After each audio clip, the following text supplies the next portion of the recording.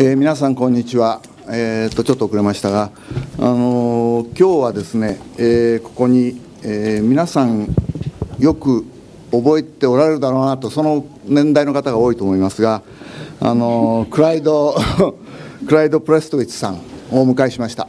あの80年代、レーガン政権で、えー、商務省の商務長官特別補佐官ですか、えー、お務めになられて、まあ、日米交渉で大変厳しく、あの日本と交渉をされた方で、えー、まあ、あのいわゆるジャパンリビジョニストっていうか、日本輸出論者っていうふうに呼ばれたりもしてまして、まあ、80年代には、日米逆転、トレーディング・プレイスというような本もお書きになってます。すみません。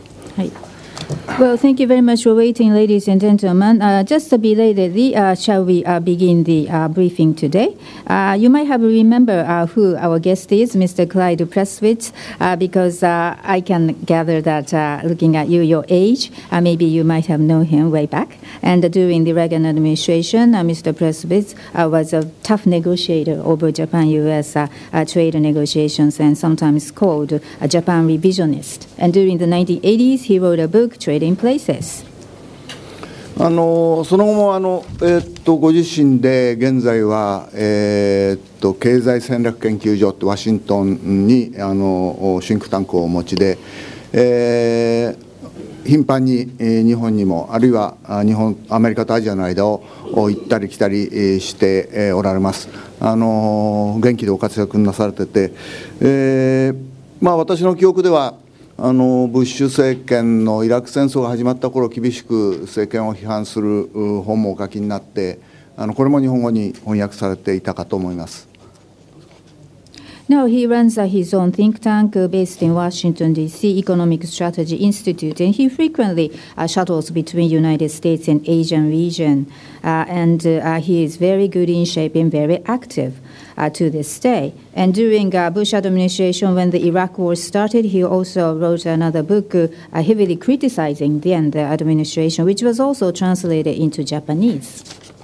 えー、ということで、まあ、今日はあの主にこの新しく出版されました「えー、2050日本復活日本復活」というタイトルのお本、えー、なぜこの本をお書きになったのか、えー、それから、まあ、この本で意図されたこと。おあるいはあの最近の日本について思っていること。あるいは、えー、アメリカとアジアの関係。あるいはアメリカそのもの。いろいろな面でちょっとお話を伺って、えー、質疑応答をしたいと思います。So uh, today's focus primarily uh, is uh, his new book entitled Japan Restored. Uh, let's ask him why he wrote this book and what is the intention, what would you like to convey through this book. And perhaps you could also share with us your thoughts about the uh, modern day Japan. What do you think about Japan right now, or US Asia relationship, or US per se? Many things. And afterwards, let's have a good discussion. あのちょっとこの本読んだ限りでは本当になんか あのプレストウィッチさんはあの日本復活のためのさまざまな新しいアイデアを我々にくれてとってもこうポジティブに気持ちがなるような本なんですけど、えー、日本人果たしてこれができるのかなというようなちょっとこう気持ちもいたしました、えー、ちょっと話が長くなりましたけどということで、え、最初にあの、まあ、通訳が入りますので30通訳、えー、1時間ぐらいになりますけれども30分中身30分程度プレス室さんにお話をいただいてその後質疑応答にします。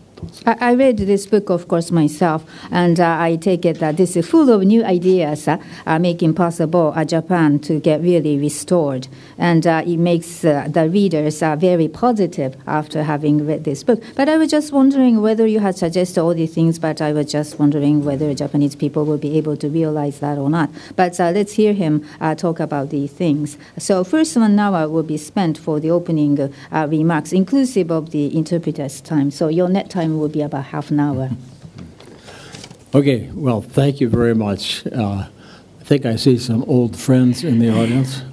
Uh, it's nice to be back in Tokyo, and it's nice to have a new book that's, uh, I think, positive uh, uh, rather than negative or critical. Um, I'm always asked, why did I write this book? And um, the reason is that I have had a long history with Japan. I first came here in, uh, uh in uh, February of 1965, so 51 years. Uh, but I'm still young. Uh, どうぞ。Can I? Can I? どうもありがとうございます。あのお部屋の中に給油のお顔もちらほら見え隠れということでとっても嬉しいですし、また東京に戻れて嬉しく思っております。今日はあの特に新しい著書についてお話申し上げたいと思いますけれども、え中身は極めて前向きで、え否定的とか批判的なことよりも前向きだということなんですね。で、いつも聞かれるんです。なんでこんな本を書いたんだと。で、まず私の自身のご紹介として対日関係長いんです。初めて来日したのが1965年2月ですからもう51年も経っているとあのいうことなんです。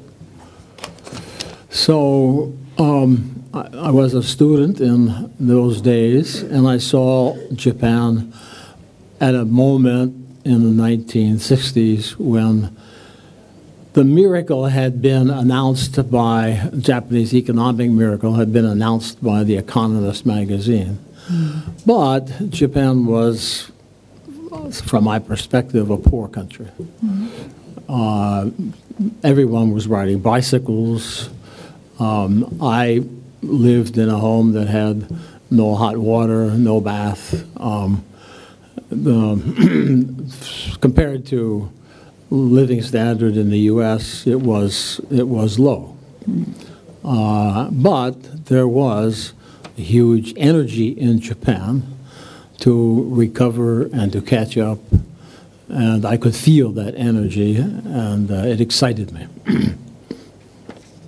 でも私、今でも若いですから、あの当時あの、最初に来た時は学生だったんですね、で1960年代の日本というのは、あのエコノミスト氏に言わせると、もう日本はまさに経済の奇跡を起こしているということだったんです。でもそうは言われても、私自身の見方としては、日本はまだまだ貧しい国だなということです。え当時、みんな日本人は自動自転車に乗ってましたし、あのお風呂もあの自宅にないとか、お湯もあんまり出ないとか、そういう状態であったので、アメリカの生活水準と比べると、あの全然低かった。ったんですね、それでもあのこれから本格的にあの復興を話して反映していくんだというエネルギーがみなぎっていたということはあの確かです。本当にこれからやるぞというエネルギーは実感できました。So I, I left Japan in, uh, at the end of 1966. I joined the American Foreign Service. I passed the language exam in Japanese, thinking that I would be sent back to Japan. But I was sent to Rotterdam, Holland, Uh, and if you're wondering why I'm not speaking Japanese, that's why. で1966年にあの日本を去ったんですね、それで国務省に入ったんです、で日本語の試験パスしたので、えきっと不妊地は日本だなと思ってたんですけれども、さにあらず、オランダのロッテルダムに派遣されてしまいましたので、ということで私、今日日本語でお話ししてないんです。So I spent、uh, about、uh, 10 years、uh, working in Europe. Uh, and in the U.S., and then came back to Japan as a consultant with a Swiss uh, executive search firm in 1975. でその後、約10年間、ヨーロッパ、アメリカともども働きまして、日本にあのもう一回戻ってきたのは1975年のことです。あのその時はあのスイス系のヘッドハンター会社のコンサル会社の一員としてまいりました。And by that time, Japan had, in fact, begun to look rich. Uh, there was the problem of jutai. Uh, there was uh, uh homes were had improved. Uh, people had uh, modern utilities, and there was a huge energy. Japan was growing at six or seven percent, and uh, exports were booming. Uh, Japan was conquering new markets, uh, and it was an exciting time, but it also was a time where I learned something more about Japan. Um, you can imagine in the 1970s, I was trying to recruit Japanese executives to work for American and European companies. Mm. Now, you all know that in the 1970s, Japanese executives did not leave their companies. And they certainly did not leave their companies to go to work for some foreign company. Uh, so I found it very difficult to be successful in the Japanese market, and I realized that one of the main problems in the trade between uh, the U.S. and Japan was the fact that American companies could not get uh, high quality Japanese executives to work for them. Uh, was that was a huge trade barrier at that time. であの2度目に日本に戻った時はその日本はもうかなりあの冬になってたんですね。渋滞も起こってましたし家の状態もかなり改善していたと。あの電気水道完備いたしましたしあの大いなるエネルギーが満ち満ちてました。さらに。で年成長率6から7%とあのいうことで、えー、本当にあの輸出ブームももう起こってたんです。ということはもう次から次へ新しいマーケットを日本が征服していった時代でございまして、えー、本当にワクワクするような時代だったんです。しかしながらあの私はやっぱりちょっとあのそれ以上のことを日本にいて学んだんですね。あの1970年代日本人の幹部職員をあの欧米系のあの会社に、えーヘッドハントするのが私のあの仕事だったんですだから日本の幹部をリクルートしなくちゃいけなかったんですけれども70年代っていうのは日本の優秀なあの幹部の方っていうのは自分の勤めてる会社は絶対辞めなかったっていうことでありますし、えしかも外資系にあのくら替えするなんてもってのほかという時代だったわけです。ということであの私はビジネス的にはなかなか日本のマーケットで成功するのは大変だったっていうことなんですね。でその時にあの日米の貿易のあの問題主たる問題の一つっていうのはやっぱりアメリカ系の企業が日本人の優秀な経営者もしくはその人材をゲットできないことにあるっていうふうに思いましてあのこれも主要な貿易問題だと感じました。But anyhow, I had to leave Japan in uh, 1979 for personal reasons of my family. But I was, in 1981, I was appointed by President Reagan as the counselor to the Secretary of Commerce. で1979年に私、日本を去りました、あの主たる理由はあの家族の事情だったんですけれども、で1981年にレーガン大統領から指名を受けまして、商務長官の特別補佐官となりました。And so, my first day at work, I went to the secretary, Malcolm Baldridge, and I said, Okay, Mac, uh, here I am. What's my job? He said, jo- Clyde, your job is to reduce the trade deficit. Uh, now, at that time, so 1981, 1982, the entire U.S. trade deficit was $25 billion. The trade deficit with Japan was about 12 billion. Mm-hmm. Baldrige told me I had to reduce that trade deficit. Mm-hmm. So I said, okay, oh, that doesn't sound too hard um, uh, what will I be paid? And he gave me some number which was far below what my wife and children had become accustomed to. And I, I mentioned that to him, and he said, Don't worry, don't worry. He was a businessman, he understood uh, entrepreneurial uh, aspiration. So he said, Look, the Commerce Department would make a deal with me they would pay me a bonus of uh, 10% of the amount by which I reduce the trade deficit. Whoa. so five years later, I owed him $150 billion and I had to get another job. で当時お使いしたのがマルコン・ボルディッチ商務長官なんです。で登庁した初日にあの私参りました。さて私の仕事は何でしょうと聞きましたら、あの君の仕事は貿易赤字を減らすことだって言われたんです。で当時81年82年のことで、当時アメリカの貿易赤字の総額は250億だったんですね。そのうち対日貿易赤字120億だったわけです。ですから何しろ対日赤字を減らせということになったわけです。で私としてはそんなの難しくないというふうに思ってたんですね。でちなみに私の給与はどれくらいですかというふうに聞きましたら、ちょっと提示された金額っていうのは、当時、私の家内および家族が慣れていた金額とは全然かけ離れていたものだったんですね。でも商務長官が言ったんです、大丈夫、大丈夫、心配するなと、あの君も起業家的なあの野心があるのは十分分かってる、だから商務省として君と取引をしようと、えー、貿易赤字額、えー、減らしたら、その額の10%を君にボーナスとして出そうと言ったんです。で、それ、あの本当にすると、5年間で150、えーと、1500億ドルになるんですね。えでも結局、私、その後食害することになったんです。Trade deficit grew from uh, 25 billion to 150 billion. Um, and during that period, of course, there were uh, many difficult negotiations between the U.S. and Japan. I was in the middle of them. Uh, and of course, sometimes the things I said were not popular uh, with Japanese or with Americans. So I think anyone in that position has to be willing to accept criticism. Mm-hmm. Uh, but there was a fundamental problem, I believe. Um, the assumption, and, and, and let me say that this problem, this fundamental problem I'm talking about, is not so much a problem today between Japan and the United States, but it certainly is a problem between China and the United States.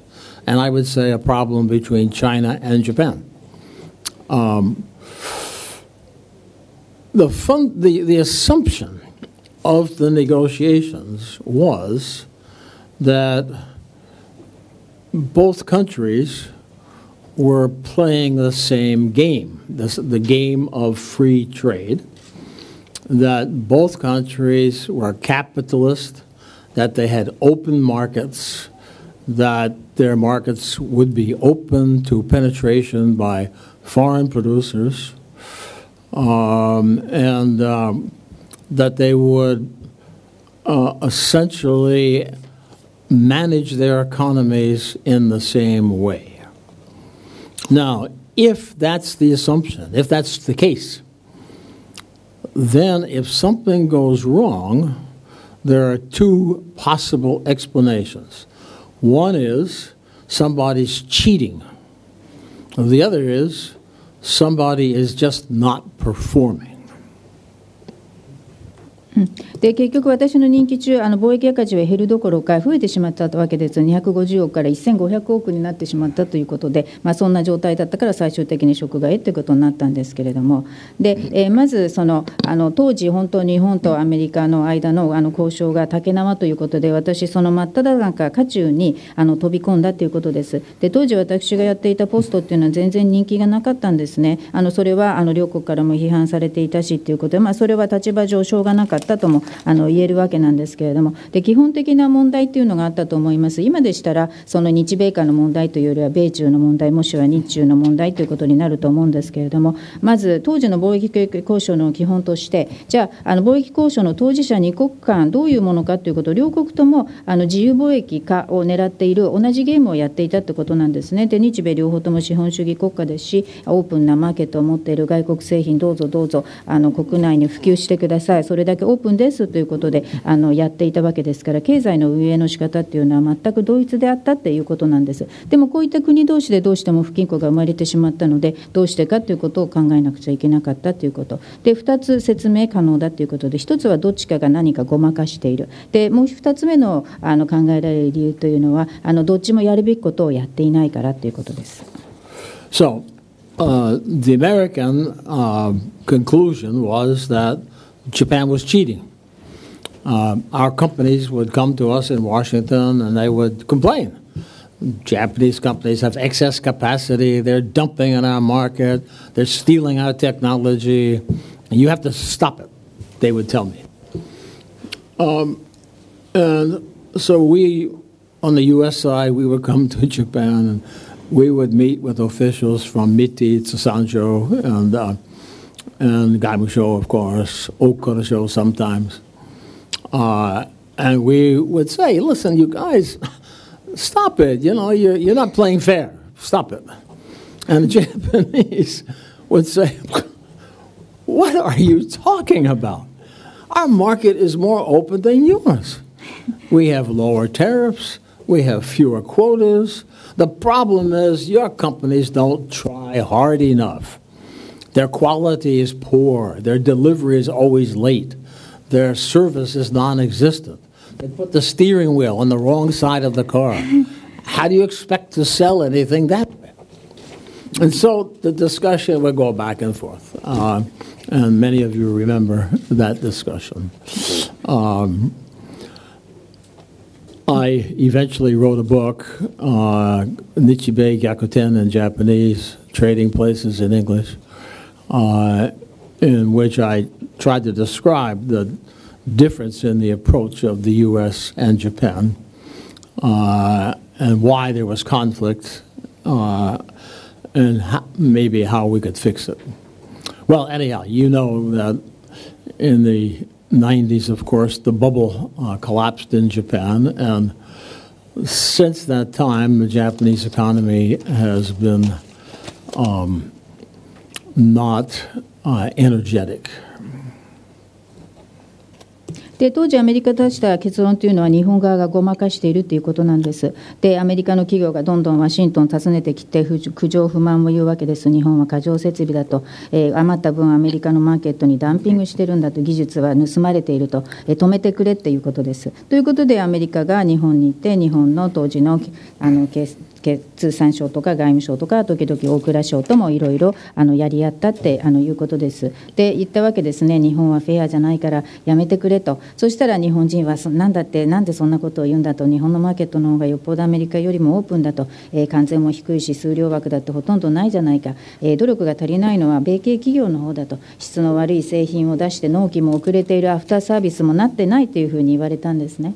えー、それしてあのハンドルだってあの反対側についてるじゃないかと自動車の。ということでこういった応酬を行ったり来たりやりまして皆さんも内容を覚えてらっしゃると思うんですけれどもそれで最終的にあの放題では日米逆転英語あの英語ではあのトレーディング・プレイセスという本をあの買ったということで、えー、あります。でその中で日米のアプローチの違いを説明いたしました。あの紛争になってしまった、えー、どうやったらあの直せるか解決策になるかということも書いておきました。でそうこうしているうちに90年代になってバブルがはじけてしまいましてそれ以来日本の経済っていうのは輝きを失ってしまったわけです。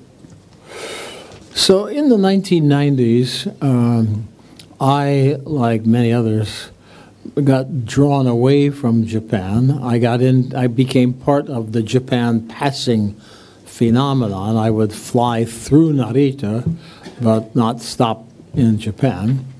I would get. I was involved in many projects in Singapore, China, and so forth. But as you recall, in the 90s, and then again in the first 10 years of the new century, uh, when people talked about Japan, it was uh, sadly. They said, oh, the poor Japanese, they don't have any growth.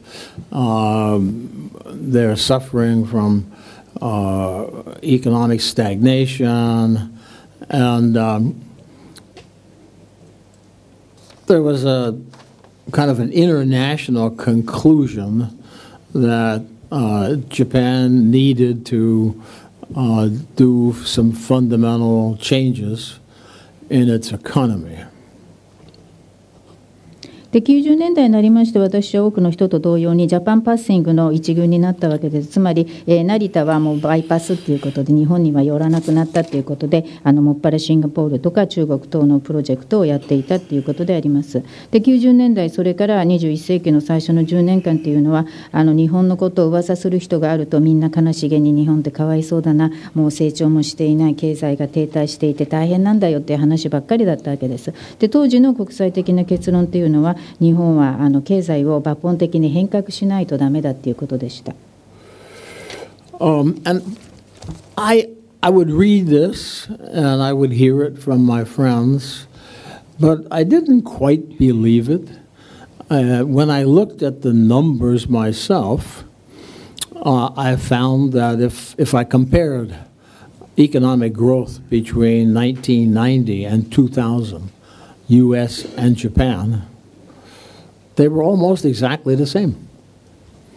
Uh, if you adjust for inflation and adjust for population growth, uh, they were the same. And so I, I felt as if much of the world was engaging in what there's a German word that describes this very, very well. It's called Schadenfreude. Um, it means taking pleasure in the difficulties of your neighbor or your competitor. And I thought, you know, all this baloney that was being talked about, Jan, Japan is is uh, having terrible difficulty. I discounted it uh, because I didn't believe that the numbers really showed that. でこういう噂が蔓延してたんですあの読み聞きもいたしました私自身もまた実際友人とも言ってたんですけれどもあのそういう話を聞いて私自身は頭からはあの信じなかったんです。というのは90年代2000年の、えー、日米間の成長率を比較してみると数字的にはほぼ同じだということが分かってたからです。インフレ調整人口の伸び率で調整すると全く数字は同じになるとあのいうことなんです。ということであの私としてはちょっとあの世界が感じていることとは違違うなというふうに思っていたでも当時あのドイツ語でこのラスタン・フロイダっていう言葉があるんですけれどもこれが言い得て無用であのライバルとかあの近隣諸国のあの困難に乗じるもしくはもてあそぶといったようなことで言われていたけれどもあの私としてはそれは信じなかったかなりあの割り引いて考えていたということです。Um, however, in uh, the year 2011, I became involved in a project sponsored by the Mexican Business Council, and they asked to asked us to compare the uh, Korean and the Japanese economies, uh, particularly focusing on the auto industry. So, in doing that project, uh, I began traveling back and forth between Seoul and Tokyo, Tokyo and Seoul. And after a while, I realized, yeah, there is something wrong in Japan. Japan is in real trouble. Uh, this is not the Japan that I knew in the 1970s and the 1980s. Uh, this is a, a new kind of Japan, and, and it's not as dynamic, and it's in trouble. Uh, and, and I began to dig in. Why? What's happened? Uh, and as I did that, I, I began to ask myself, you know, is there something that I could contribute that might help? Uh, and I thought of writing a book because writing books is is what I do. Um, and so I decided to write a book, and uh, that I thought, I hoped, would be a contribution to Japan to, to, to save itself and get out of this trouble.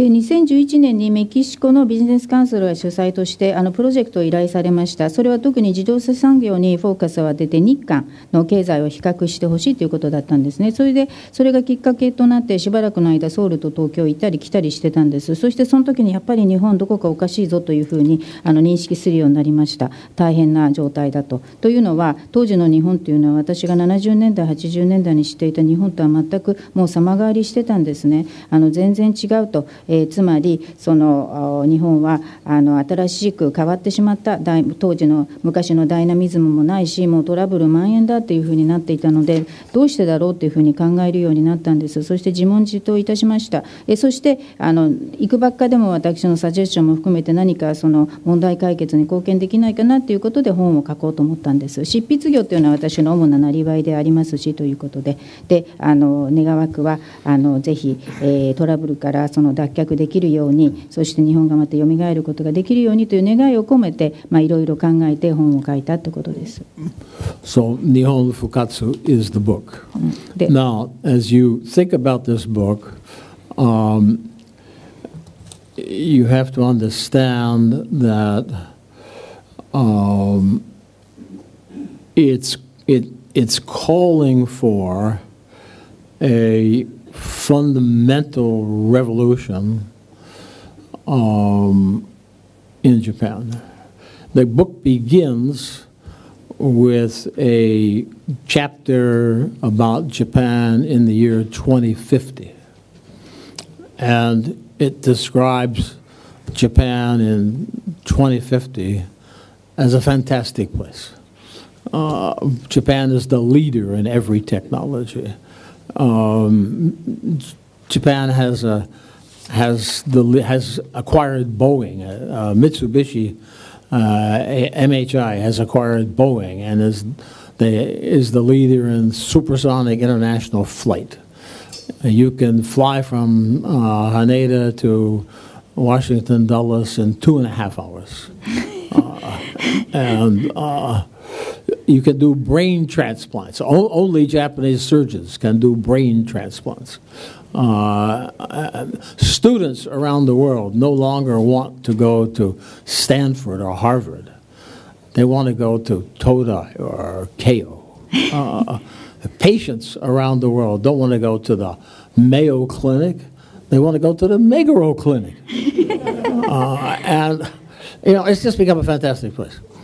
Now, let me emphasize that this 2050 paradise that I described is not a forecast, it's a scenario, it's a possibility. I do think it's possible, but if you ask me what are the chances that this will happen, I have to say they're low.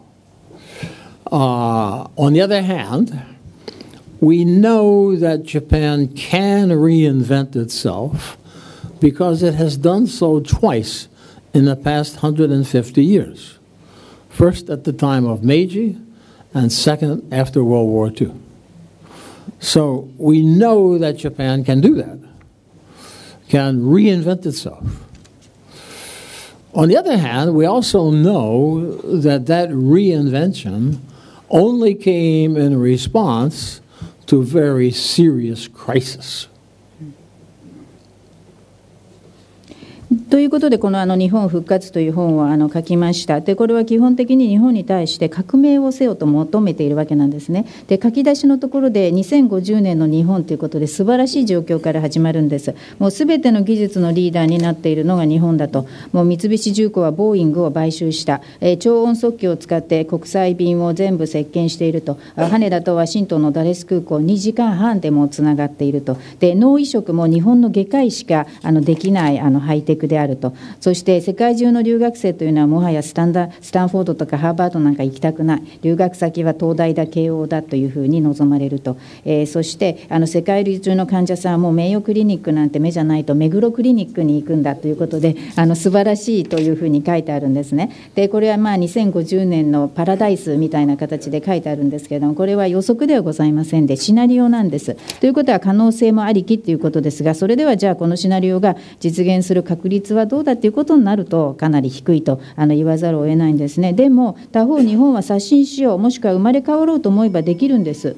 えー、現に過去150年間であの2回ちゃんとなさってますよね。1回は明治維新の時2度目は戦後っていうことですから。ですから復活しようと思えば可能であるということでありますしあの刷新しようと思えばできるということです、えー、ただあのそれをやるためには深刻な危機にまず対応策をあの取らないといけないということなんです。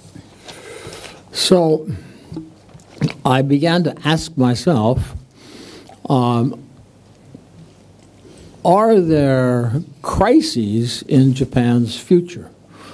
Um, and I began to think, well, there could be. Uh, what could they be? Well, the Israelis frequently talk about bombing Iran, Iran's nuclear facilities if the Israelis, I, it's possible that the Israelis would bomb Iran. I believe it's possible. If they did, surely the Iranians would close the Strait of Hormuz. And that would cut the supply of oil to the Far East. Or uh, another possible crisis could be that um, Chinese occupy Senkaku Islands. Uh, and, and the U.S. Uh, hesitates. The U.S. is not sure it wants to go to war with China over the Senkaku Islands. Uh, that's a possibility.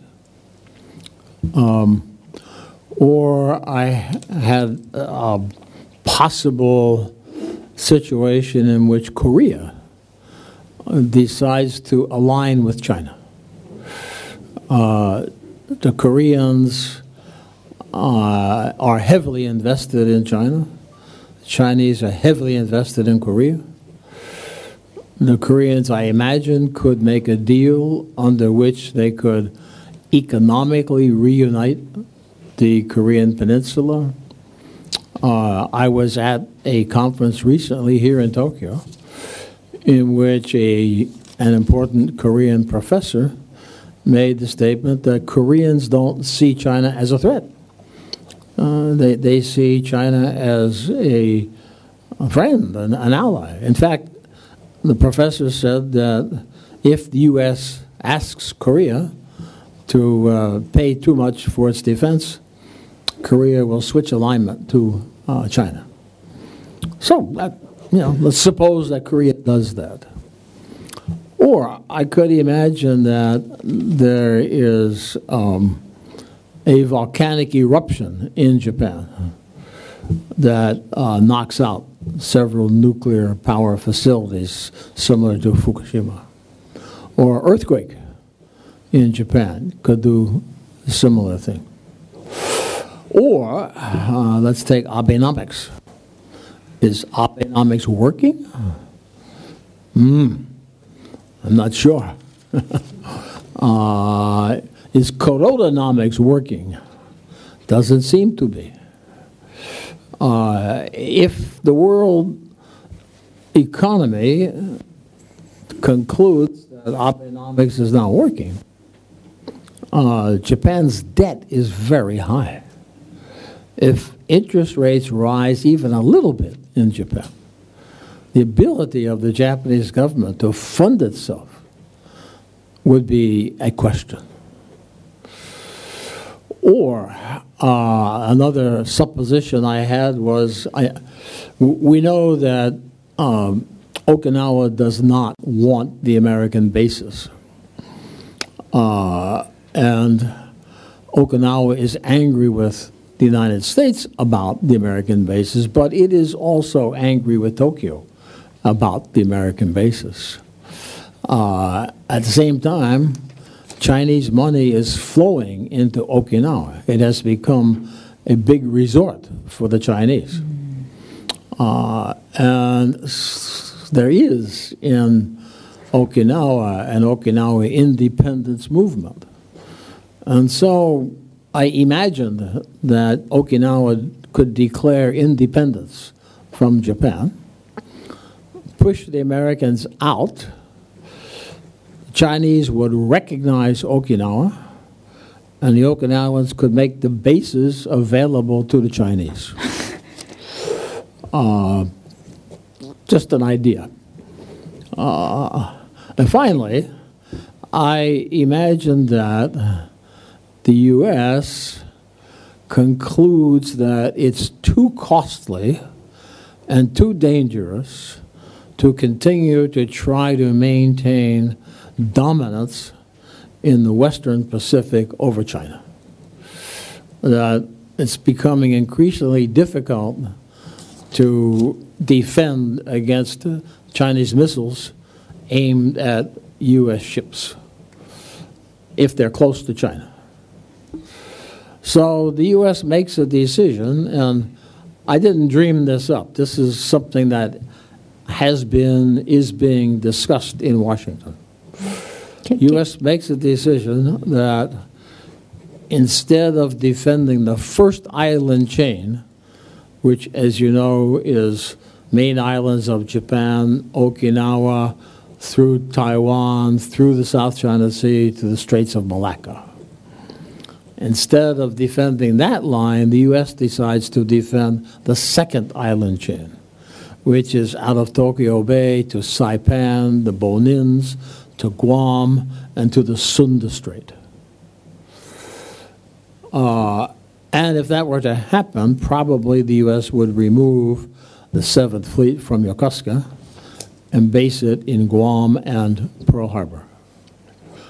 So I imagined all those uh, possible scenarios uh, as crises that might happen. Uh, and under those conditions, I imagined that the Japanese government, Japanese people, might have a reaction similar to the one that they had in response to Meiji and in response to the end of the Second World War.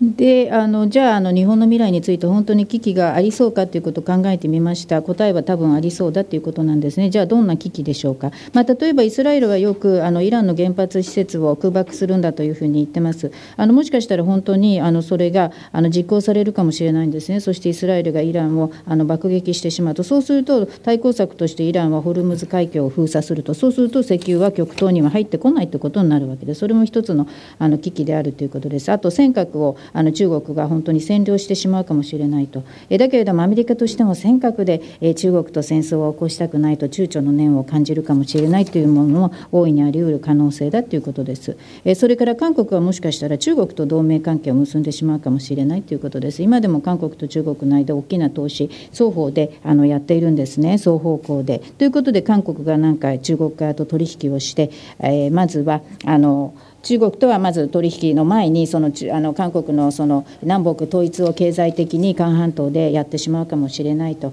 えー、そしてあの韓国としてはあの結局あの中国っていうのはこの間もその東京であの韓国をめぐってのシンポジウムがあって韓国のあの大学教授が現に言ってましたけども韓国っていうのは中国を敵とは見ていないんだと。敵じゃなくてあのどっちかっていうと同盟もしくは友好国として見ているんだという話をしていたくらいでありますからあのもしかしたらその、えーアメリカが韓国に対してもっとその国防費負担せよといったようなことを迫ってしまうともう嫌だと。じゃああの韓国はもうアメリカじゃなくて中国と同盟関係を結ぶようになるかもしれないということなんですね。それも大いに可能性がある。それから日本があの火山噴火がたくさんあって原発が影響を受けてしまって福島のような状態が複数に生まれかねないということです。地震も同じようなことは考えられる。それからアベノミクスっていうのはワークしてるんでしょうか？ちょっと定かではないですよね。じゃあ黒田ミクスはどうでしょうか？あれもなんかあんまりワークしてないように見えると。ということで、えー、もしそのあの世界経済がアベノミクスについてやっぱりうまくいっていないなということになるとあのやっぱりその日本のあの問題が大きくなってしまうとあの例えばもう金利がちょっと上がるだけであの日本政府としてはその国債をあの介してのファンディングのあの金利返済が非常に大きな負担になってしまうということになるので、えあとあの沖縄の人々はもちろん米軍基地絶対反対ということですよね。そしてあの米軍が基地を置いている在米のその、えー、基地があるということでその怒りの矛先っていうのはアメリカ人および東京にあの沖縄住民からは向けられているということです。で同時に今も中国マネーが沖縄にたくさん入ってきて中国人用の大リゾートを作っているあのわけです。ということでもしかしたらそれでまた沖縄独立運動みたいなものもあるわけですから本当にもしかしたら沖縄が独立宣言をするかもしれないと。で独立宣言してアメリカ人を追い出す。そして中国が沖縄を正式承認すると、えそして今まで沖縄にあった基地は今後は中国に使わせると。いったようなことだって、まあ、ありえないありえなくはないということなので一応アイデアということであの私の本に書いておいたということですね、えそれから西太平洋をめぐってもうあの支配をするのはもうコスト的にも大変だしあの危険が蔓延しているとあの中国に対してということで考えるとそのアメリカも、えそうするともう大変だから結局特にそのアメリカのあの艦船に対して中国のミサイルから守るというのは特にその位置が中国本土に近ければ近いほど守るのが大変になるとということで、まあ、いろんなことは考えられているということなんですでこれ私は今申し上げているのは決してこれ夢見物語ではなくて現にそのワシントンの方で、まあ、前提としてこういうこともあり得るということでもうすでに、まあ、一部あの進んでいることもあるしあの今後あの考えられている可能性ということなんですね。でもしかしたらあの第一列島線はもう守らないと第一列島線というのはその日本の本土沖縄台湾南シナ海からマラッパガ海峡なんですがここを最初に守る代わりに第二列島線の方を守ろうということになるかもしれません東京湾サイパン、えー、ガムエズム地域っていうことなんですけどそうするともう横須賀を母港としている第7艦隊はガムとかパールハーバーに行ってしまうかもしれないと。ということでいろいろありうるのでこういった問題が蔓延していると日本としても何か腰を上げて対応しなくちゃいけないということででもしかしたら前の明治とかその第二次大戦後に見られたように日本が生まれ変われるチャンスがあるってことなんです。So, in that kind of response to that kind of crisis, uh, some of which I believe will occur. Um, what what is Japan? What are Japan's biggest problems? And I would say the the biggest single problem, more important than all the rest, is the Jinko Shukusho, the mm-hmm. population shrinkage. Uh, it's very, very difficult to achieve economic growth uh, when the population is shrinking at almost 1% per year uh, and aging. Uh, so I, I, think that if we look at current trends, we could say, in a way, that Japan as a country, as a nation, is committing, slowly committing, but actually not so slowly, suicide. Uh, and um, there will come a moment, if, if, if current trends continue, there will come a moment when it's too late, too late to reverse. Uh, uh, that moment has not been reached yet. But if something doesn't change over the next 10 years, uh, then I think it will be, in fact, too late for Japan. Now, some of my Japanese friends say to me, Clyde, don't worry. Uh, it'll be good. We won't have so many people. It won't be so crowded. Uh, and we'll have more space. And some people say, we'll be like Switzerland.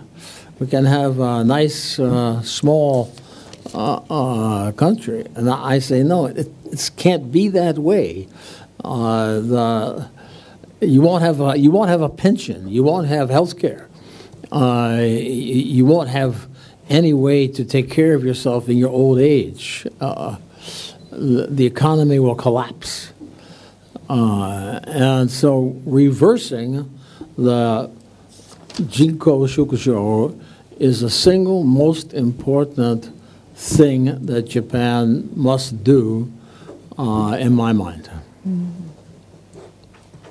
でいろいろまあ危機があり得るということは申し上げましたけれども、それに対応策を打っていかなくてはいけない、で一部対応策はちゃんと取られるというふうに思ってるんですけれども、であの日本の抱えるあ単一最大の問題というのは、ダントツで人口縮小の問題なんですね。人口を縮小する中で経済成長を維持するのは大変なことです。あの年に1%ずつ人口が減る、しかも高齢化が進んでいるということですから、成長をキープするのは並大抵のことではないと。そしてあの今のトレンドを見てみとある意味では日本は徐々にではあるけれども、まあ、自殺に向かって進んでいるそしてしかももしかしたら徐々にではない形で自殺に向かって進んでいるとあの言わざるを得ないということなんです。で今のトレンドが続いてしまうといつかもうあの絶対にあの後戻りできないほど遅きに失してしまうということです。まだその後戻りできない点にはまだ達してはいないんですけれどもで、えー、何しろ現実的には向こう10年間に何か具体的に変わらないと本当にもうトゥーレイト日日本にとって遅すぎる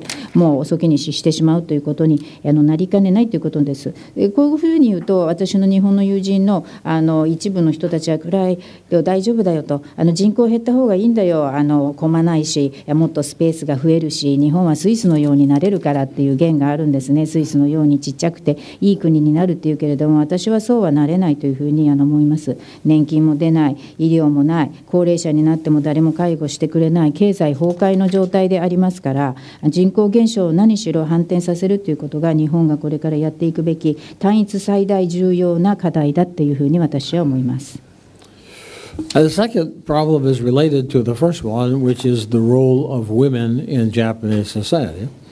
Uh, if you ask, is it possible to increase the birth rate uh, and to raise the, to reverse the aging and the shrinking of the population? The answer is yes, it is possible. Uh, the French and the Swedes faced the same question. And they realized that if they didn't do something, there weren't going to be any more French and there weren't going to be any more Swedes. And so they decided to try to create more French and more Swedes.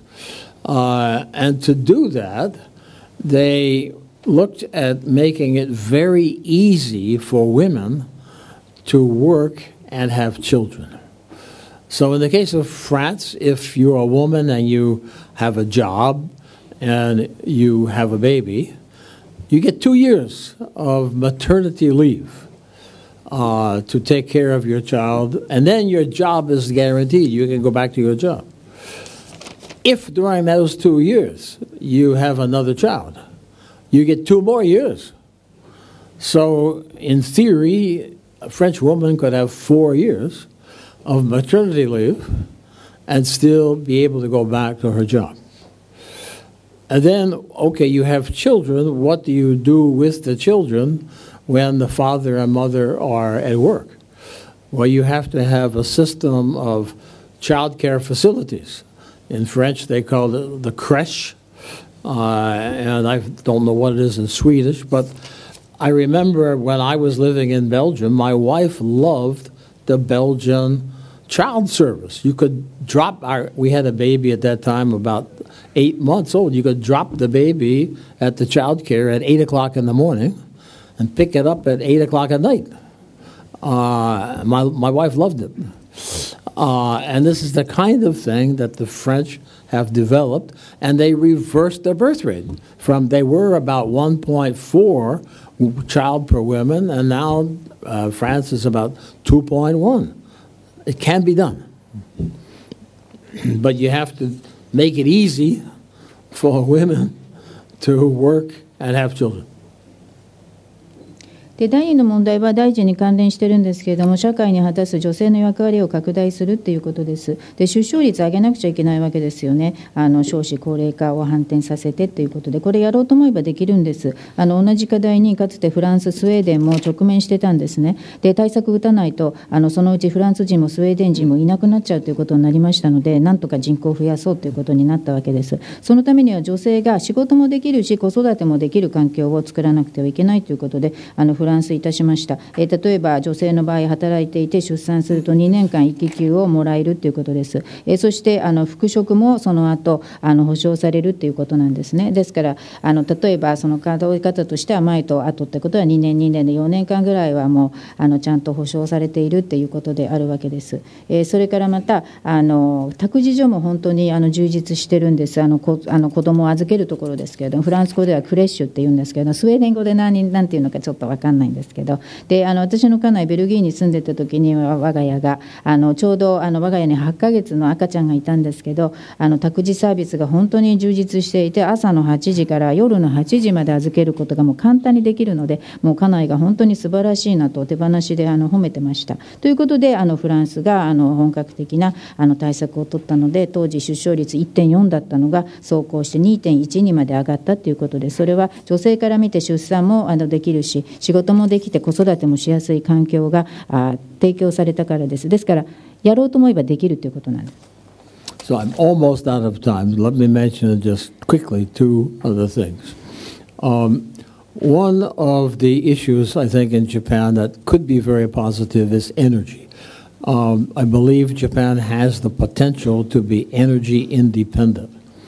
Uh, I believe it can do that through a combination of solar and wind power, and using um, the nodules of methane hydrate that are in the sea around Japan, and in developing a smart grid uh, so that the electric grid itself uh, determines how much is needed, where it's needed, stores energy in critical places, uh, and becomes much, much more efficient.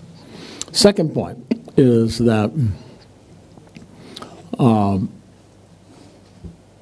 Japan has been um, compare let's let's say compare Japan to a country well the U.S. of course but let's say Israel um, or even China um, the uh, the ability the willingness of entrepreneurs in Japan to start a new company a new business is much much lower than in most other countries.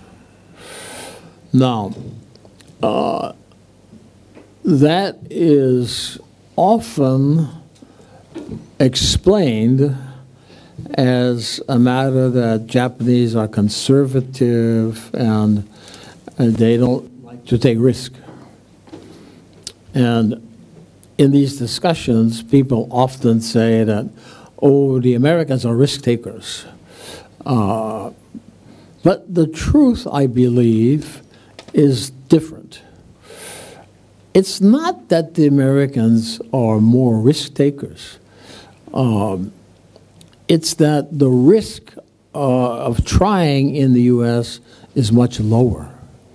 In, in the U.S., you can try and fail and still have another chance.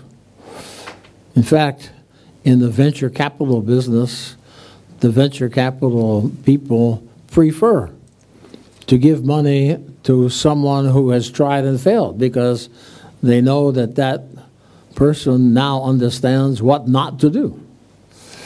Uh, but the key is that the risk is low in the U.S.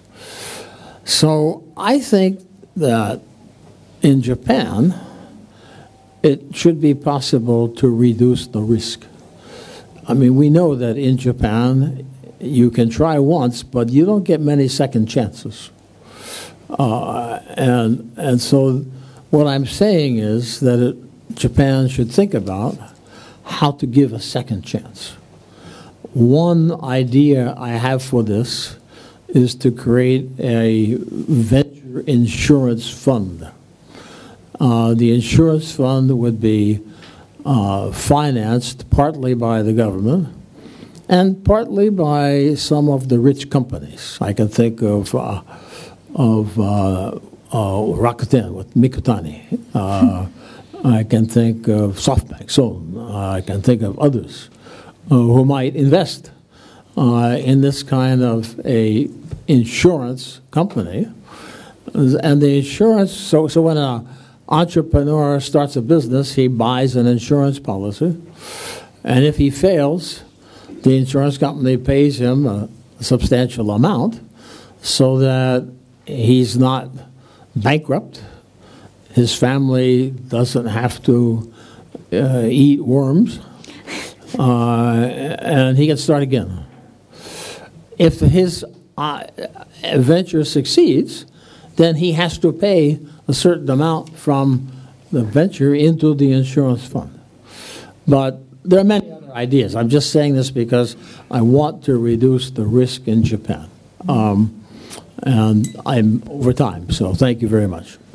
あの あの時間がそろそろなくなってきたのであと2つだけ申し上げて終わりたいと思います。一つ日本やりようによってはエネルギーでとってもポジティブになれるということなんですね、えー、ということでエネルギー的には自立も可能だということです。やりようによっては、えー、太陽光と風力をあのどんどん組み合わせてして使うということででモジュール型でメタンハイドレート海底に眠っているものも有効活用できるはずです。でスマートグリッドをあのどんどん導入してもうグリッドの方にあのどこであのいつどのくらいの電力が必要か余った分は蓄エネするるといったようなことで、効率どんどん上げることが可能であります。で第2は、よく日本というのはアメリカと比較されるけれども、アメリカ以外にもイスラエルとか中国とも比較可能だというふうに思うんですね。で、日本を見てみると、企業っていうことになると、本当にあの日本においてあの新規企業の立ち上がる率っていうのは、あのほとんどの国に比べて日本は本当に低いっていうことなんです。で、よく理由として説明されるのは、なんて言ったって日本人は保守的だし、リスクテイクしないからってことになるわけですね。で、アメリカ人はリスクテイクするからっていうことになるけれども、真実は違うというふうに思ってます。えつまりアメリカ人がそのあのリスクテイクをどんどんするっていうよりも、トライするリスクがあのアメリカでは低いということなんです。つまり、やり手に言えば、あのトライして失敗しても大丈夫っていうあの環境がアメリカにはあるわけです。だから1番目に失敗しても第2のチャンスが巡ってくるということなんですね。で、アメリカのベンチャーキャピタルビジネスはかえってトライして失敗した人たちをあの好んであの投資するっていうことを現にやってます。っていうのは1回失敗するとやったらいけないことが十分わかるから次はそれを避けて通るであろうということでそういった形のリスクがアメリカでは低いということなので同様に日本でもあのこういった形のリスクを減らすことはできます。えつまり日本は一度しかチャンスを与えないと2度目のチャンスはほとんど巡ってこないということなのでもっと2度目のチャンスが出るように日本でもできるんじゃないでしょうかこれが一案ですそして具体的にはベンチャー保険ファンドが作れるんじゃないかなというふうに思いますでその保険ファンドあの資金はあの一部政府から出す一部リッチな企業が出すわけです。楽天の三木谷さんとかソフトバンクの孫さんとかまあ言ってみればということですけど。でその保険を作っておけば起業した人でもし失敗した人失敗してしまったとしても昔だったらその個人保証を出してたから家族全体もミミズなんか食べていかないといけないみたいになりますがそんなもう必要はないということでその保険金を使えばいいわけですしでうまくいったらまた保険金を補充できるといったような形でリスクを減らすことができるのであのもちろんやろうと思えばできるっていうことなんですねもうこれで時間がなくなってしまったのでやめますご清聴どうもありがとうございました。はい、どうもありがとうございました。あの、大体、本の半分ぐらいの話はしていただいたかなと思います。Well, thank you. I think you have more or less covered half of what you had wrote in your book, right? えーということで、あの、質疑応答に移りたいと思います。Now let's go on to the Q&A session. あのでフロアの皆さんから質問いただきますが、えーっと質問ある方はお近くのマイクへ寄っていただいてあのお名前と所属ないしは、まあ、あの個人会員である場合は個人会員お名乗りいただいてその後お質問なるべく簡潔にあのお願いしますできれば一人一問で収めていただいて、えー簡潔にお願いいたします So let's open the floor for uh, questions. Uh, please speak into your uh, nearest microphone. Uh, please state your name and affiliation before you speak. Uh, you can, of course, identify yourself as a freelance if you are one, but uh, please be concise and maybe one question each to one questioner first of all. Please. はいじゃあはいどうぞじゃあどうぞ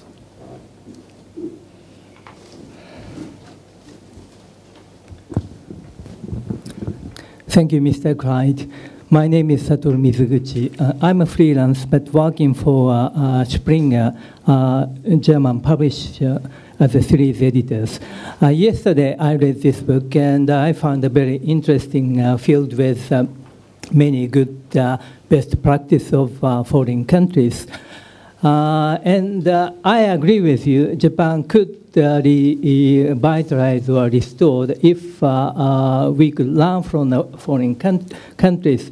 But my question is, do you think people in power in Japan are able to learn or show willingness to learn from foreign countries and change their behaviors? That is my question. Thank you. あ私あの佐藤と申します個人会員なんですけれども、まあ、ドイツ系のあのあのメディアにあの勤めておりますということで日本はあの刷新しようと思えばできるんだというふうにおっしゃいましたけれども本当に日本の時の権力者っていうのはあの学ぶあの意思があるのか外国の例を見て日本を、えーの行動を直そうと思うことができるのかその辺どうお考えでしょうか？Yeah, that's a good question. Um, I, as I indicated, um, I think that in re, in response to crisis, uh, yes, I think that people in power in Japan can learn from foreign countries. Um, unfortunately, at the moment, they don't, they, they feel the crisis um, in a way, um, and as a result, we have Abenomics and Kurodanomics. Um, but they don't understand that the crisis is much bigger. Uh, and somehow, I think that Japan's leaders have to come to a realization that Japan as a nation is really facing life or death situation. Uh, and if they have that full realization, then I think, as in the time of Meiji, as after World War II, I think no reason that the Japanese can't reinvent themselves, but probably needs more sense of crisis. あのいいご質問ですあの。いろいろ申し上げてきた通り、えー、本当に危機が分かって危機に対応しなくちゃいけないという実感を日本の権力者が得ればあの当然外国の事例からあの学習することはできるというふうに思いますただ現段階においては、まあ、危機については危機はあるということはある意味感じておられるかもしれませんだからアベノミクスですとかクラウドミスクが取られていることではあるけれども実はもっと危機があの思っているよりも大きいんだということがまだ分かっておられないんじゃないかというふうに思います。えですから日本のリーダーの方は日本は国として今はもう成果しかそれほど大きなものはかかっているぐらいの危機にあの直面しているんだということをまず認識なさるべきではないでしょうか。で十分あの現状を正確に認識なさることができたら明治維新の時のようにまた戦後の復興のように十分日本は刷新可能っていうことであるのでもっと危機感を持たなくてはいけないというのが、まあ、私の対応です。えー、その他質問どうぞあありましたら。はい。Next question, please.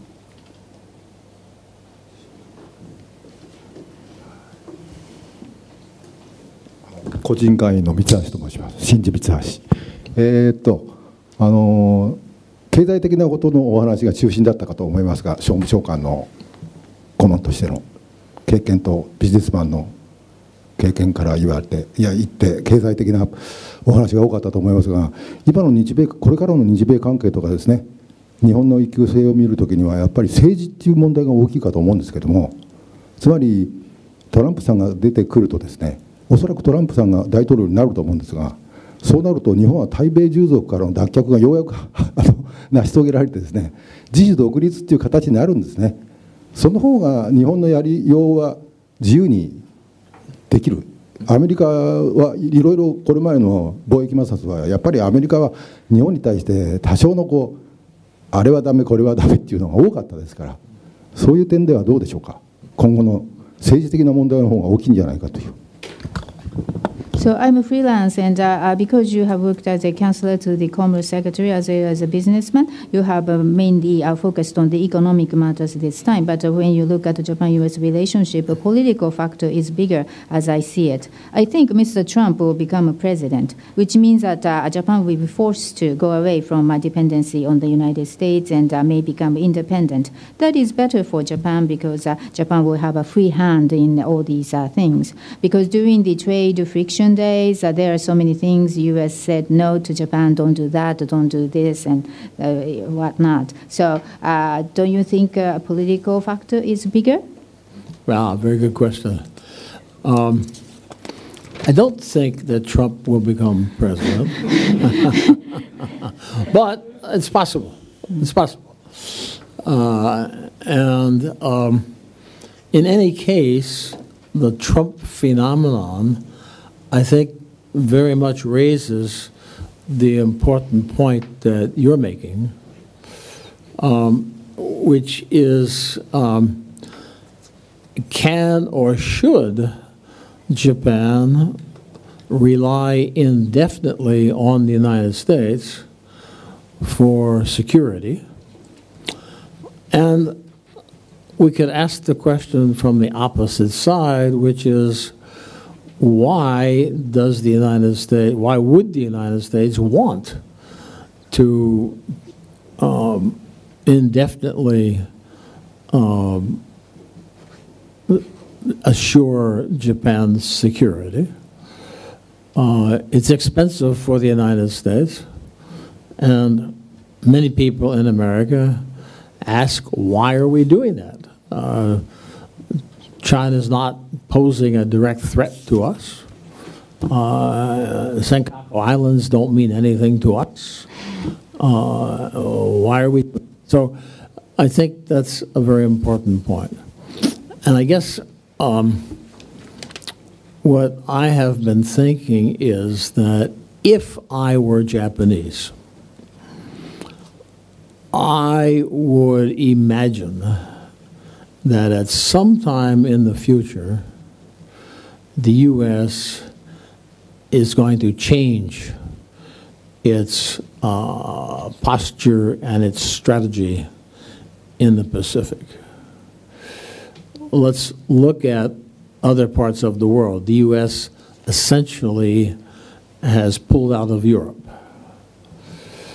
The U.S. essentially has pulled out of the Middle East. Uh, and of course, the White House talks about pivot to Asia, but pivot to Asia seems to be mostly TPP, which I personally don't think will be passed. Um, I could be wrong. I've been wrong once or twice in the past. Um, so, if Japan cannot, if, if there's a chance that Japan cannot indefinitely rely on the U.S., then uh, if I were Japanese, I would be thinking very hard about what Japan should do in order to uh, be able to assure its own security. In the, this book, I have suggested that Japan should build alliances with Korea, with Vietnam, with the Philippines, with India, uh, and um, and take a lead in building a, a kind of uh, Asian NATO uh, that would be that would be tied to the U.S. in some ways, but would not be dependent on the U.S. But I think your question is a very important one.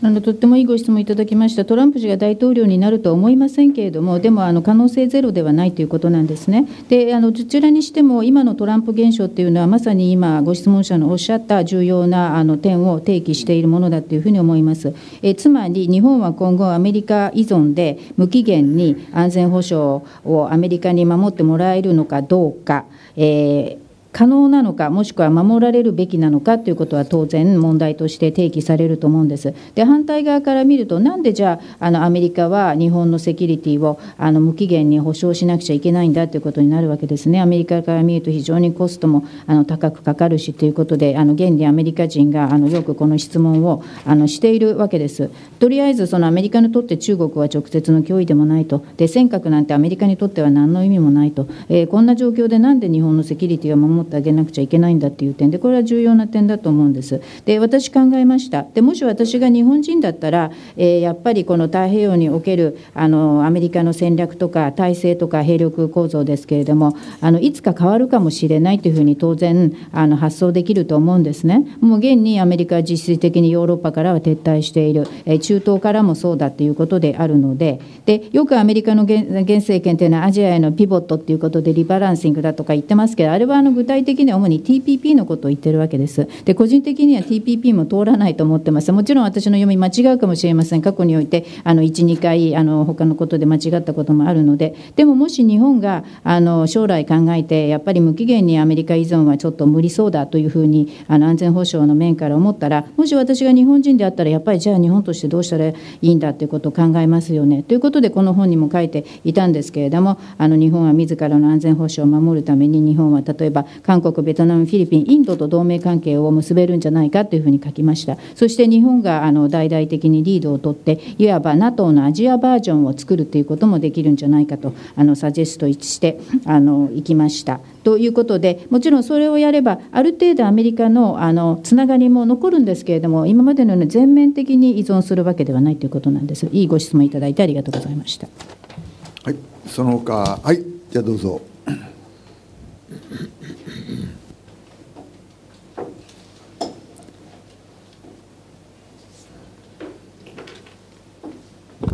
フリーランスのあの経済ジャーナリストの牧野と言いますが、僕もあのちゃんと本を買って読みました。なかなかあの刺激的で面白いです。ただその2050年のその日本に関してその特にこう僕は経済ジャーナリストですから技術イノベーションに対する評価が非常に高いんでちょっと高すぎるかなという感じがするけどもあのただ反面僕の質問は日本のやっぱりこう大きなこれからのモデルというのは高齢社会の社会システム作りをやっぱり積極的にやるべきだと。つまりもう医療にしろ介護にしろ年金にしろ。これはアメリカにもない問題アジアにもない問題で日本はやっぱりその先進モデル例を作るならそこかなという気はするけどもその辺はあのどういうふうにお考えなのか。でアメリカはやっぱり僕にとっては確かにモデルだけどもまだまだ今あの格差の問題を含めていろんな課題が多いんで日本はそういう面では逆にあのモデルになるかもわかんないと思ってますけどそこはどうかと。Mm. So I'm a Makino, economic journalist to freelance as well, and I bought your book and uh, read it, and it was very thought-provoking and very interesting. But I thought uh, 2050 picture of Japan, uh, very high in the innovation technology. Maybe you gave a too high evaluation on that score, in my view.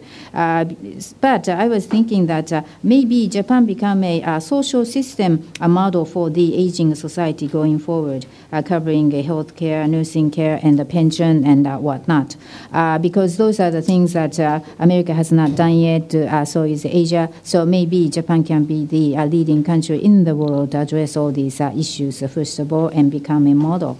Uh, and for me.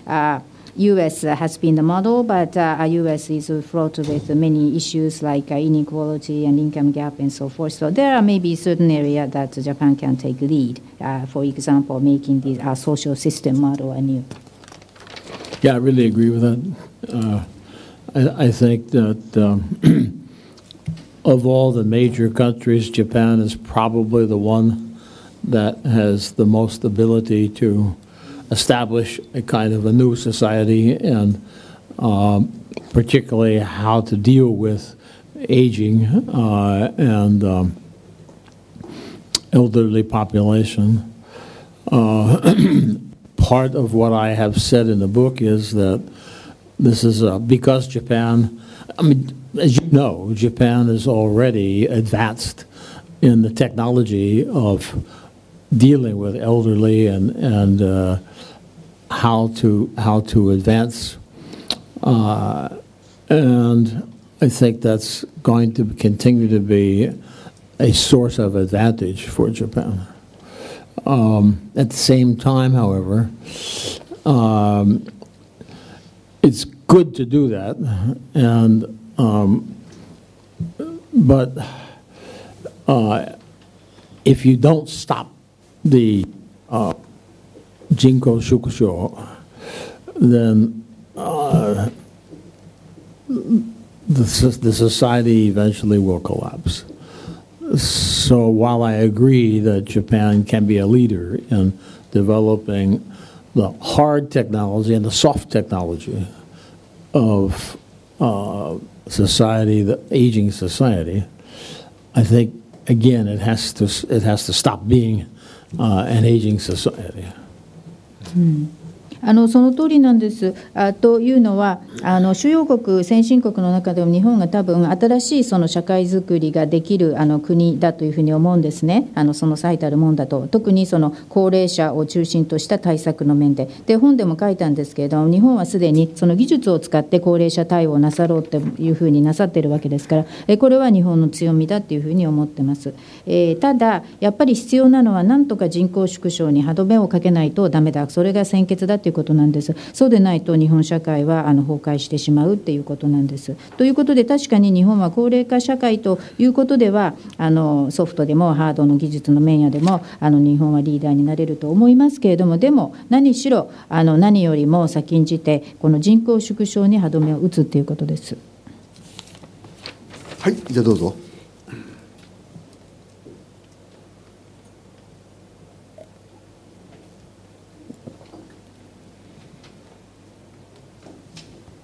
あ個人会の小林と申します。あの2050年のシナリオの中でですね中国が日本の GDP の半分以下になると。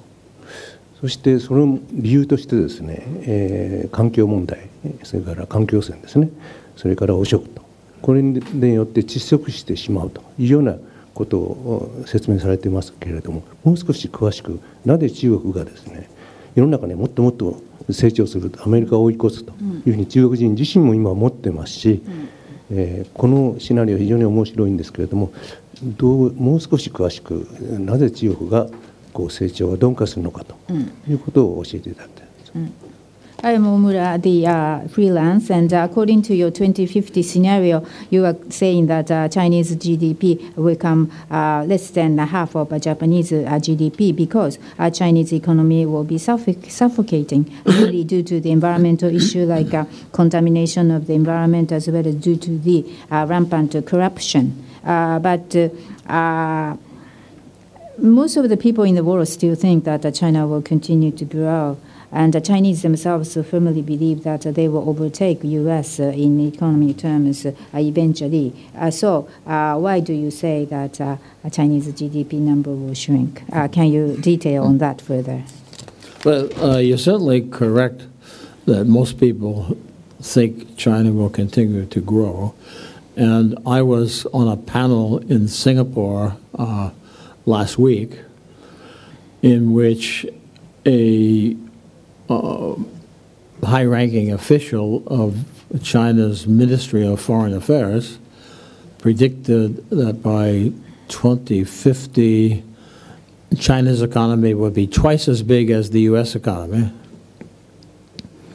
Uh, and of course, that means it would be about four or five times as big as Japan's economy. So, um, I think that all of these predictions about Chinese growth are nonsense, total nonsense. Why do I think that? First of all, the numbers are not correct.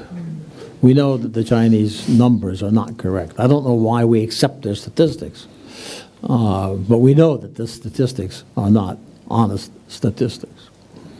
Uh, but put that aside for the moment.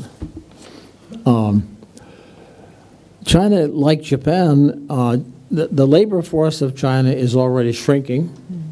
China is beginning to age rapidly. uh, and so, like Japan, it's becoming an old, uh, old age population. We have, for a long time, the question has been will China become rich before it becomes old? The answer is no. Um, and I think that, um, as I said in the book, China's problem with uh, with pollution, with uh, not being able to breathe anywhere in China, uh, and China has has misinvested. Um, all of this investment in infrastructure. It's, it's like, in, you remember in Japan, in the, I, I, you, are all familiar with the stories of Shinkansen to nowhere uh, and, and uh, train stations in Japan that nobody used. Uh, Japan also went through a period of trying to maintain high growth with infrastructure spending. But it usually that kind of infrastructure spending is misallocated capital. It's dead capital. Uh, and China has huge dead capital. Like Japan in the 1990s, China has enormous debt. Uh, and the, the bubble collapse and, and the, the uh, problem of debt overhang in Japan was huge, still suffering from that. But it's even worse in China. Uh, and the Chinese system doesn't provide any way to counter it. I mean, Xi Jinping has his anti corruption drive, but the corruption is, is uh, spread throughout the society. Uh, and uh, the party lives because it, it can provide uh, growth. But that growth is declining. The growth rate is declining.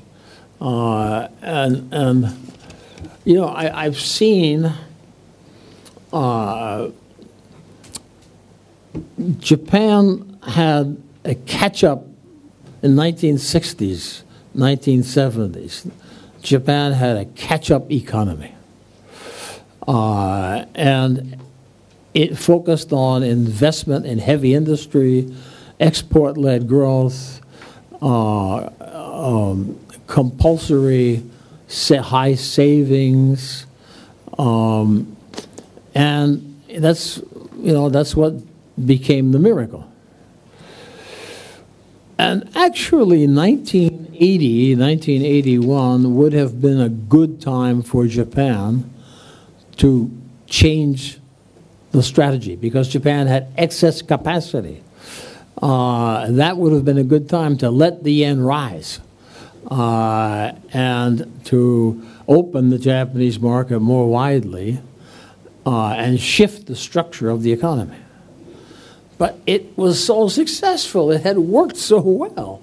And the politics in Japan were built around the catch up strategy.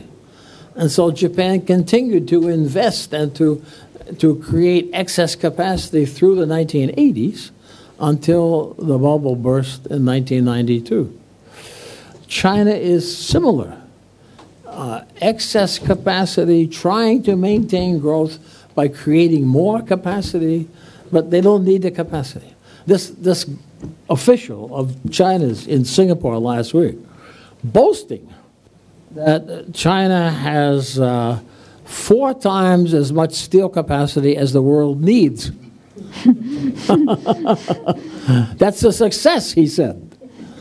Crazy. Uh, so I am not optimistic about China. あの確かに今でもあの世界の大半の人っていうのは中国はこれからも伸び続けるんだというふうに思ってます。で先週シンガポールのパネルに参加してきたんですけれどもそれに参加したあの中国の外務省の高官は中国の経済は2050年までにアメリカの2倍になるというふうに予測してました。ということは日本の経済の45倍になるということなんですね。であのでも中国が成長すると予測するのは私に言わせれば100%ナンセンスだということなんです。理由はまずあの数値統計が正しくないからということです、えー、全然そのあの正しくない中国から出ている統計をなんで皆さん容認なさるんでしょうか、全然あれはあの正直な数字ではないんですね。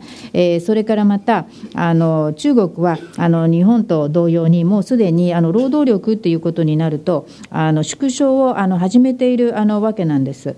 ということであの中国も同様にあの迅速に高齢化の道を走っているってあのいうことであるので日本と人口高齢化の問題というのは共通しているってあのいうことなんです。え、それからあの長きにわたっていつも質問されてました中国っていうのは老ける前につまり高齢化する前にちゃんとリッチになれるのかどうかっていうことなんですけども答えはノーだっていうふうに思います。あのリッチになる前にあの高齢化してしまうっていうことなんですね。で本の中にも書いておきましたけど本当に中国って汚染が激しいです。もうどこに行っても安心して息できるような場所はないということなんですね中国は。で今まで間違った投資をしてきました。インフラ投資ばっかりしてきたからです。例えば日本もあの全然どこに行くんだ新幹線っていう時代もありましたよね。誰も使わないような駅を作ったりということもあったと思いますがまさにそれがあの中国ではあの横行しているとあのどんどんどんどんインフラを増やすことによって高成長を支えてきたということです。もちろんある時期日本もそういった同じ手法を使っておられたんですけれどもでもその規模が中国の方が大きいということで何しろその資本の行き先投資先を間違っているということはみんなこれは死んだ資本になってしまっているわけです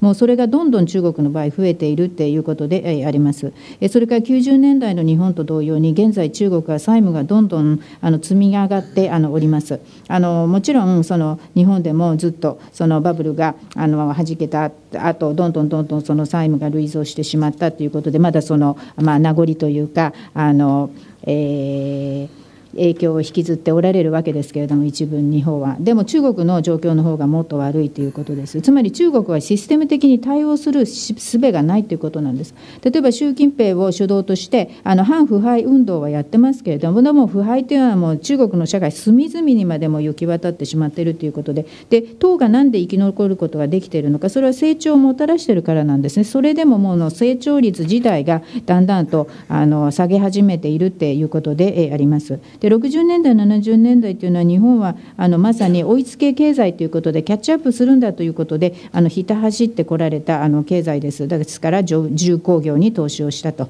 そして輸出主導で成長したと、まあ、強制的に貯蓄もしたということで、日本のミラクル、奇跡が生まれたわけであります。で実はあの後知恵ですけれども、80年、81年というのは、日本があの戦略転換ができたらいい時だったんですね、あの転換がやろうと思えばできたと。あの過剰設備だったし過剰設備も解消するとかまた、まあ、円高になるとか、えまたよりマーケットをオープンにしてあの経済の構造を抜本的に日本が転換するいい時期になったはずだったあのわけなんです。でももうそれまで日本はあの政治的にもあのキャッチアップ戦略ということで大成功を収めていてそれ一色であのやってきたっていうことです。それでどんどん投資もしてきて過剰設備も80年代にたまってしまってでもそれはなんとかあのそのままあの放置していてもあの成功していたけれども結局92年になってバブルがはじけてしまったということでありますので。で中国ももちろん過剰設備そのものです。成長を支えるために設備をどんどん増やして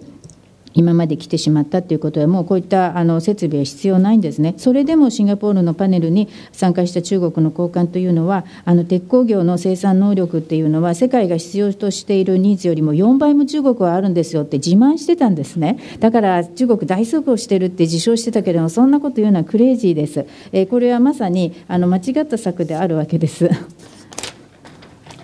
どうもありがとうございました。えー、ちょうど時間が来ましたので、これでおしまいにしたいと思います。えー、っと、最後にですね、あのプレストウィッチさんに。えっと、ここに、えー、お言葉をちょっと書いていただきました。この本が、あの日本のルネッサンスに役に立つように、えー、希望してますということで、まあ、あの皆さん時間があったらぜひ読んでください。えー、それからあの通訳素晴らしい素晴らしい通訳が池田さんでした。私は共同通信の客員の説明の間でした。どうもありがとうございました。